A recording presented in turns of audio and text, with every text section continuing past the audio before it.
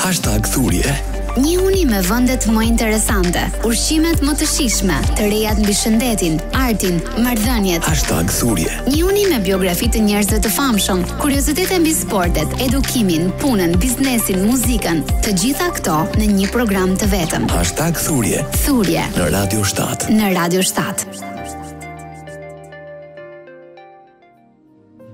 Mendoni pak për një ushqim që e kishit shumë inat kur ishit fëmijë. Nuk donit asnjëherë ta hanit sepse kishte një shije të tmerrshme. Por kur u rritët, e provuat përsëri atë ushqim dhe këtë herë, ju pëlqeu shumë. Çfarë ndryshoi? Pse shijoi ky ushqim më shumë kur u rritët? Përgjigjen për këtë mund ta keni në majë të gjuhës.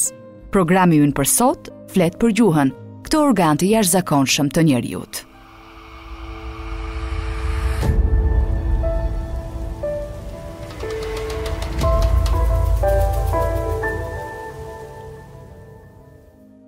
Gjuha është një muskul, njësoj si muskujt që lëvizin krahët dhe këmbët. Megjithatë, gjuha është shumë ndryshe.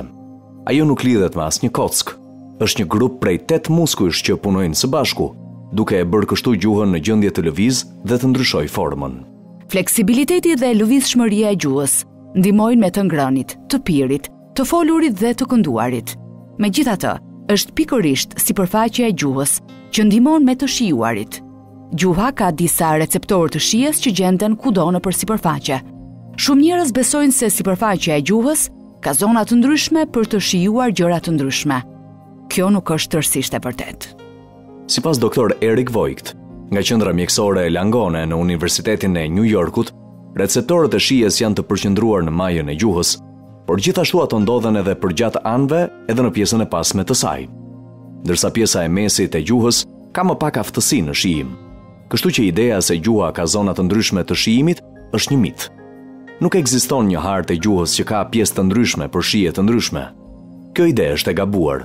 Të gjitha zonat e shijimit janë në gjendje të ndiejnë të pesë llojet e shijeve, të cilat janë e ëmbël, e thartë, e kripur, e hidhur dhe pikante. Pra gjuha është një grup muskujsh që i lejon njerëzit të shijojnë ushqime të ndryshme. Por çfarë është shija? Dhe përse njerëzit i shijojnë ndryshe gjërat? Shkencëtarët kanë menduar për një kohë të gjatë se ekzistonin vetëm katër shije bazë. E para është e kripura. Ushqimet e kripura janë ushqime të tilla si patatet e skuqura, salca e sojës, ullinjtë dhe patatinat. Pastaj janë ushqimet e tharta, të cilat janë ushqimet si limoni apo kosi. E treta është shija e ëmbël ku futen frutat, buka dhe karamelet.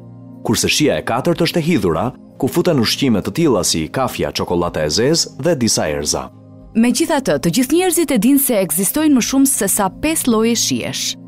Dhe me përparimin e shkencës, janë identifikuar akoma më shumë shije. Umami është shija e mishit të pjekur. Ushqime që kanë një shije të fortë, sikur ta regjin dhe ta shtrëngojnë gojën. Ushqime të athta kanë një aromë të fortë, siç është mustarda ose xhinxheri. Të gjitha këto shije kanë qenë gjithmonë pjesë e ushqimeve, por tani njerëzit përdorin një mënyrë më të qartë për të folur rreth tyre. Çdo gjuhë është në gjendje të shijojë të gjitha këto gjëra. Megjithatë, jo çdo gjuhë e shijon të njëjtin lloj ushqimi në një nivel të njëjtë. Disa njerëz mund të mos e pëlqejnë shijen e një limoni të thartë. Gjuha e tyre mund të jetë shumë e ndjeshme ndaj ushqimeve të tharta, dhe kështu shija e limonit bëhet e papranueshme për ta.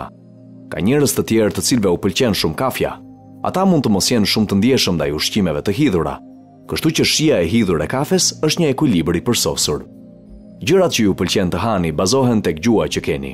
Ndoshta s'do të arrini asnjëherë të bëni dikë të dojë një ushqim që ju pëlqen juve. Nëse dikujt nuk i pëlqen shija e peshkut, nuk ka rëndësi se sa shumë e provon. Gjuha e tyre thjesht mund të mos e lejojë atë të shijojë peshkun. Por gjithsesi njerëzit prapë se prapë duhet të provojnë shpesh ushqime të reja.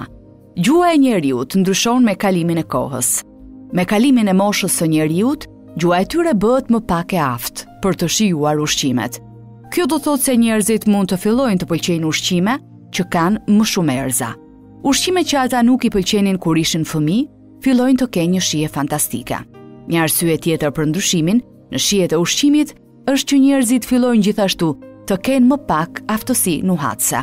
Nuhatja ka një rol të madh tek të ngrënit sepse ndikon në mënyrën se si reagojmë ne ndaj ushqimeve. Gjuha e çdo personi kombinon bashkë gjenetikën dhe kulturën. Gjuha juaj shijon ushqimet për shkak të geneve nga prindërit tuaj. Gjithashtu përvojat me ushqimin që keni pasur janë për shkak të kulturës ku jeni rritur si fëmijë. Veronik Grinud ka shkruar në lidhje me arsyen që kultura të ndryshme çmojnë shije të ndryshme të ushqimeve. Ajo thotë se shijet e ushqimit bëjnë që njerëzit të kujtojnë shtëpinë e tyre. Sipas artikullit të saj, kombinimi i domates, hudhrës, rigonit dhe vajit të ullirit të jep një ndjesi italiane. Ushqimet me karkaleca të tharë, speca djegës, ginger dhe vaj palme të japin një ndjesi braziliane.